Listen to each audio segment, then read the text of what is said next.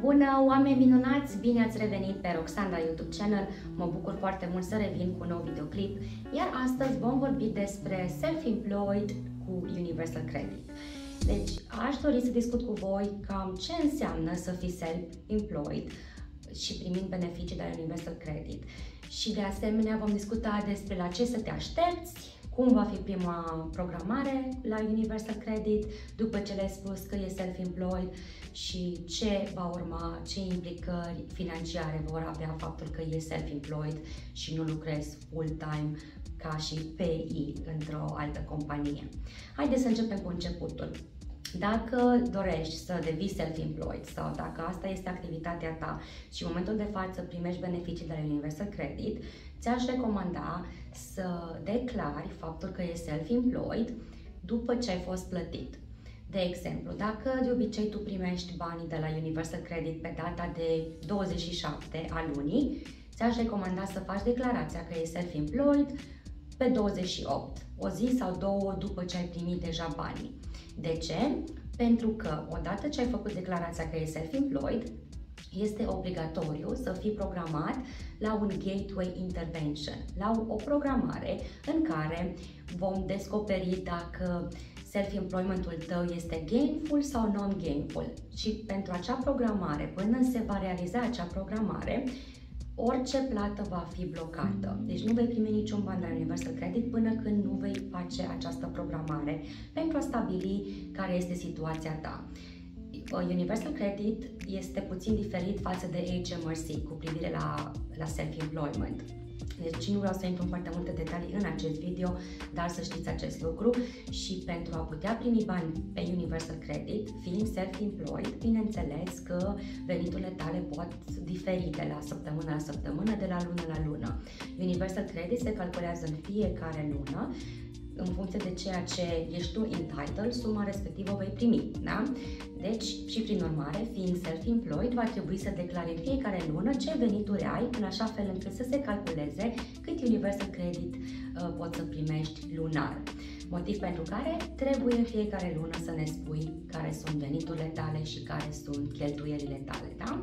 Asta în cazul în care ești gainfully self-employed vom merge și la această decizie, mai de, o să intru în mai multe detalii mai târziu.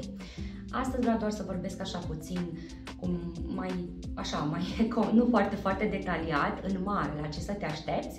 Dacă aveți, dacă doriți informații mai specifice, vă rog frumos să-mi spuneți sau îmi scrieți în comentarii și vă ajut cu mare drag. Haideți să mergem mai departe. Să spunem că ați avut această programare. Veți primi o scrisoare digitală în jurnalul vostru în care vi s-a explica ce documente să aduceți la programarea respectivă. Practic, dacă aveți un UTR, da, UTR number-ul, dacă aveți uh, orice payslip-uri sau facturi, orice, ca să, de exemplu, dacă sunteți lucrați, lucrați în domeniul construcțiilor, dacă aveți ceva proiecte care urmează să le faceți sau dacă sunteți delivery driver, dacă sunteți taxi driver, cât mai multe evidențe, cât mai multe dovezi despre ceea ce faceți voi. Dacă uh, este pentru prima dată când faceți declarație de self-employed și sunteți self-employed pentru prima dată la Universal Credit și nu ați mai primit un startup period în ultimii 5 ani, atunci, de cele mai multe ori, dacă businessul este la început, considerăm self-employment ca un business, vi se va oferi o perioadă de 12 luni ca să creșteți veniturile businessului, da? Poate este ceva complet nou, ce n-ați mai lucrat până acum, și începeți treptat, treptat să creșteți afacerea sau să creșteți veniturile ca self-employed, vi se va oferi aceste 12 luni pentru a ajunge la venitul la care ne așteptăm noi. Acum, minimum income floor. Cum se calculează și ce este? Ca să fie corect pentru toată lumea, cei care lucrează în, la un job normal, ca PI, de exemplu cineva care lucrează la Tesco, va lucra 35 de, săptă- 35 de ore pe săptămână. Acesta, acesta este uh, un full-time, deci cam așa ne așteptăm noi. Cei de la guvern se așteaptă ca o persoană care lucrează și uh, este la muncă să lucreze în jur de 35 de ore pe săptămână cu minimum pe economie care este 10 lire 42 în momentul de față, se multiplică pentru 4 săptămâni și ne vine un venit de 1458.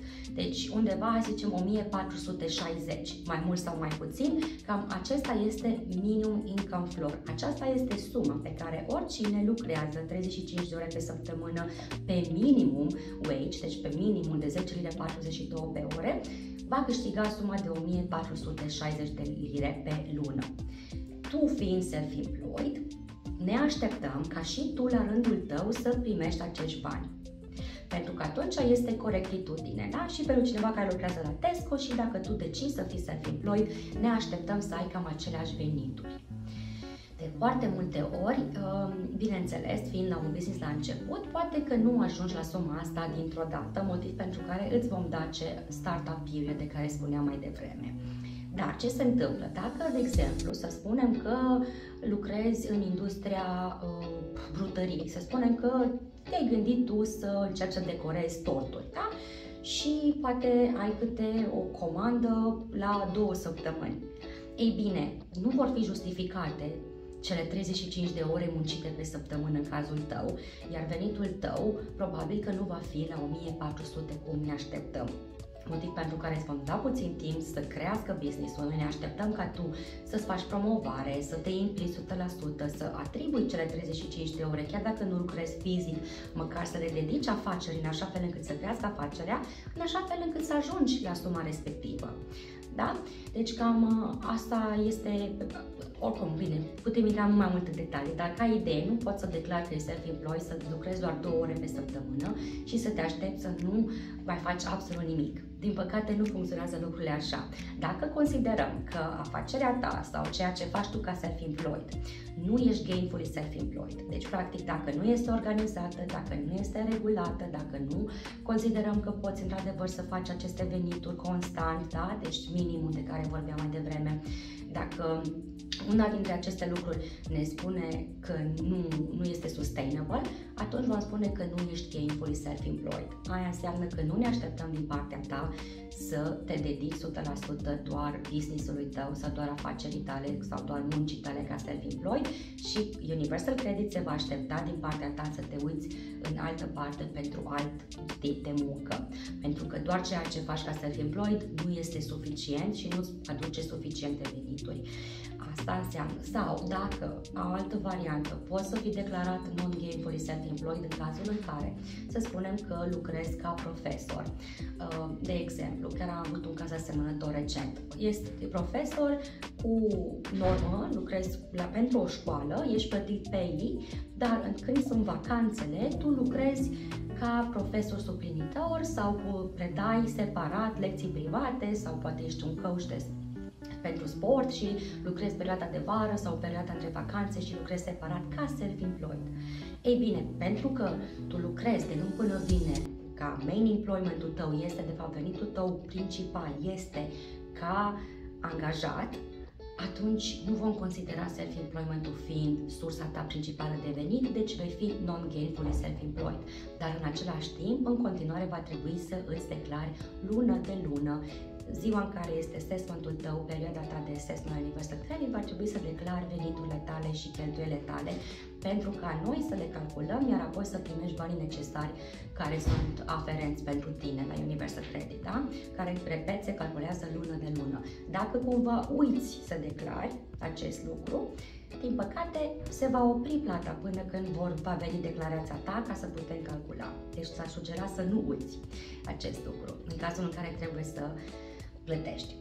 Dacă considerăm că e, nu ești gainfully self-employed, absolut deloc. Ideea ta de afacere mi se pare că, de fapt, nu faci niciun uh, demers. Pentru că sunt cazuri în care doar avem o idee. Să spunem că aș vrea să fiu, uh, nu știu, curierat, să fac curierat, de exemplu, sau să fac așa o meserie care nu 100% nu am experiență în domeniu, doar vreau să încerc ceva. Dacă nu ai toate detaliile 100%, gen să știi cam cum o să meargă lucrurile în domeniul respectiv, să ai informații, să începi, să cauți, să-ți cauți de lucru, să cauți clienți. Bineînțeles, dacă ești așa cam uh, vag, totul este vag, atunci mai mult ca sigur vom spune că nu ești gainfully self-employed și că îți recomandăm să vii în continuare la Job Center, să vii la programările tale pentru a-ți căuta de lucru în alt domeniu. Dacă considerăm că ceea ce vrei tu să faci activitatea ta ca self-employed nu este justificată 100% și nu va merge într-o direcție de a aduce venituri pentru tine. Da? Haideți să vedem că am mai făcut câteva notițe aici.